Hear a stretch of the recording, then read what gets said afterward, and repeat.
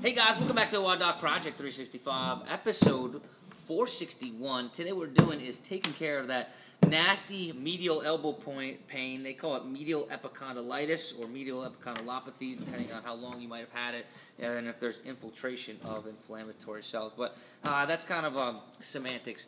Right now, medial elbow pain, pain on the inside of the elbow, we get it a lot from gripping activities, okay? We've shown in the past different ways to roll it out with the barbell. But today what we have is we have a dumbbell. Dumbbells work really well because they're smaller and you're able to maneuver them a lot better, right? They're not as clumsy.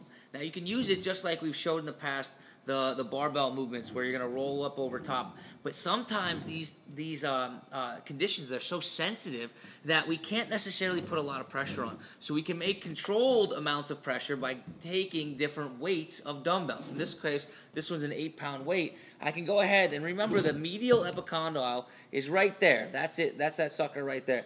Coming down from it, okay, is where all the flexor tendons in my hand um, are located. So basically, I want to be able to treat this entire area from the wrist all the way up to the elbow. And if I if I have a like a moderate to lightweight dumbbell, this works really well as a controlled pressure because it's much less pressure than I would do as if I was rolling it on myself, flipping it over like this. Now, of course, you can um, you can flip it over like this and and modulate the pressure yourself but it's hard to get a consistent pressure right? So that's why i like just flipping this sucker over here like this. It's simple it's easy and uh, it works really well in those acute type situations. If you need more pressure obviously again you're going to flip back over. But the idea is using the dumbbell as a rolling device rather than just letting it sit in the side of the gym because uh, it works really really well. Cool?